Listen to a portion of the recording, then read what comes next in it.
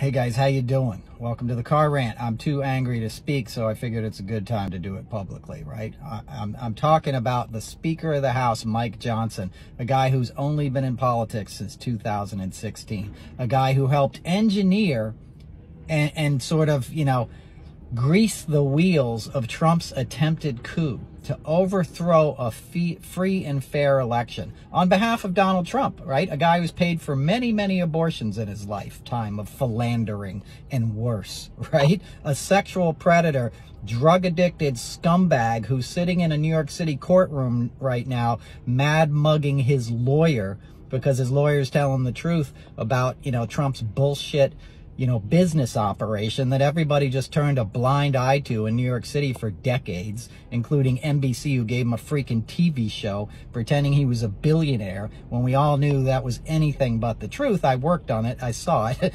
firsthand, okay? Trump is a joke and a clown.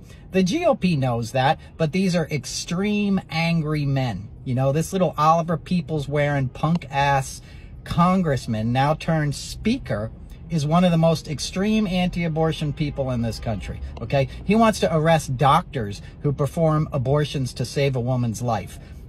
Message to fellow men. That's none of your fucking business. Whatever a woman does to her body is none of our business. And we need to stand up for our fellow women.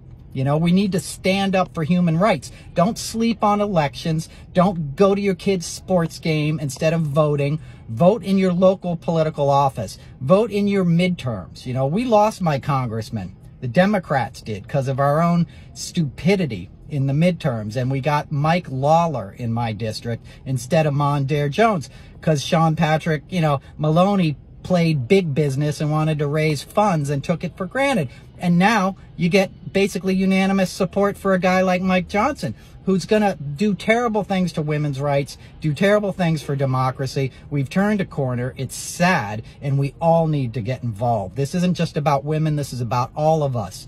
It includes Medicare and Social Security. Stop them. Get involved.